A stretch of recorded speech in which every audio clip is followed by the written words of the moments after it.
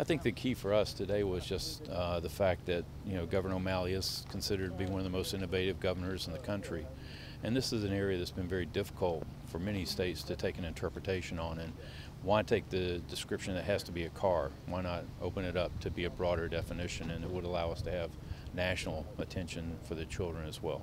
That's really all this was about, and I think Troy was very elegant in how he presented it.